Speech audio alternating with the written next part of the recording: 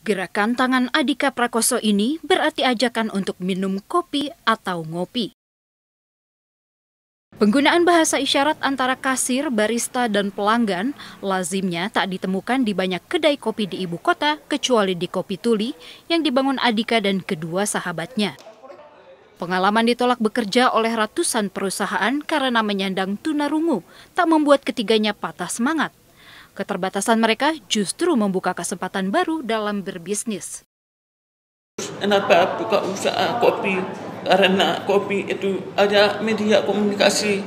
Jadi kopi itu itu punya identitas, identitas apa? Apa ada isyarat, ada isyarat itu media komunikasi untuk mematuhi di sini kopi itu ada menu menu itu kenapa menggunakan nama karena ada ruang interaksi antara mendengar mematuhi tidak akan untuk kakak datang ke kopi lihat menu mana susu itu apa kan penasaran.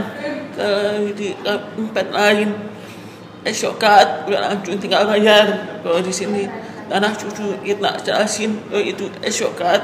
Jadi adanya ruang interaksi Kedai yang awalnya dibuka di Depok, Jawa Barat ini kini memiliki cabang di Duren 3 Jakarta dan mampu mengeruk omset hingga 200 juta rupiah per bulannya.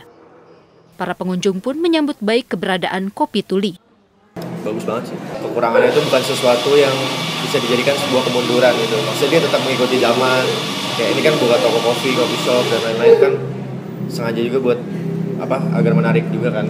Uh, ini juga uh, menjadi ruang bagi teman-teman tuli untuk punya tempat nongkrong berdiskusi yang mungkin bagi mereka lebih nyaman juga karena di sini banyaknya berkomunikasi menggunakan bahasa isyarat gitu sih.